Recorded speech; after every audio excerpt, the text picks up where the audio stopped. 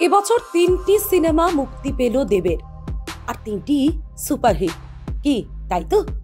কখনো দেব বোমকেশ হয়েছেন, কখনো আবার বিপ্লবী বাঘা যতীন হয়েছেন। তবে পরের বছর অন্য ধারার সিনেমা আনছে দেব। বলা যেতে পারে টলিউডে চমক দেবেন দেব। এবার কয়লা মাফিয়া চরিত্রে নাকি দেখা যাবে দেবকে। সিনেমার নাম অনেকেই জেনে গেছেন ইতিমধ্যে। দেবের নতুন সিনেমার নাম, অর্থাৎ আগামী বছরের সিনেমার নাম খাদান। তবে টলিপাড়ার চোর চর্চা, আবারও দেবের সিনেমায় থাকছে সৌমিত্রিষা এর আগে কিন্তু শোনা যাচ্ছিল, এই খাদান সিনেমায় দেবের নায়িকা হতে পারেন ইধিকা। বাঘাযতীন সিনেমার প্রিমিয়ারে ইধিকাকে দেবের সঙ্গে কথা বলতে দেখা গিয়েছিল। তাহলে বলুন, কে হচ্ছেন দেবের নায়িকা?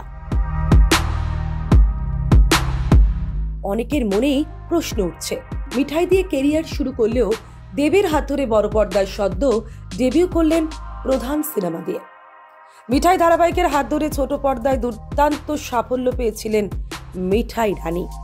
ওরফে সৌমিত্রী শাকুণ্ড ধারাবাহিক শেষ হতেই মিলেছিল বড় পর্দায় অভিনয় করার সুযোগ। ছোট পর্দার সৌমিত্রিষার এখন নতুন পরিচয় রুমি। প্রধানের সাফল্যের নিরিখে সর্বত্র সৌমিত্রিষার জয় জয়কার।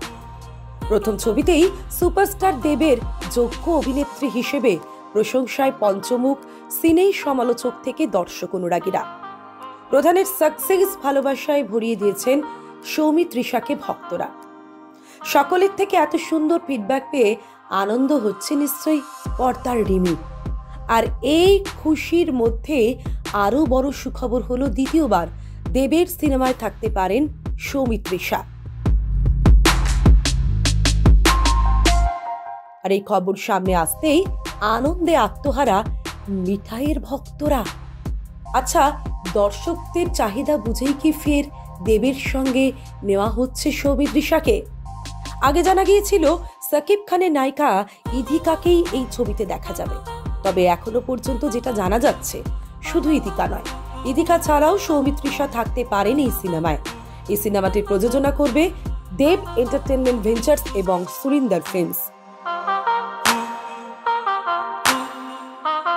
ছবিটি পরিচালনা করবেন সঞ্জয় রিনো দত্ত। এই ছবি নিয়ে নির্মাতারা মুখে এখন কুলু পেটেছেন। এসবের মাঝেই শোনা যাচ্ছে, নির্মাতারা নাকি নায়িকা হিসেবে প্রাথমিক পর্যায়ে সৌমিত্রিষার কথাই ভাবছেন। যদি এটা সত্যি হয়, তাহলে প্রধানের পর দ্বিতীয়বার দেব সৌমিত্রিষা জুটিকে দেখবেন দর্শক। আবার অনেকেই মনে করছেন, দেবের এই পরবর্তী সিনেমায় সত্যিই কি মিঠাইকে দেখা যাবে? নাকি সবটাই রটনা? সেটা অবশ্য সময় বলবে। Bureau report, Cinechakkar.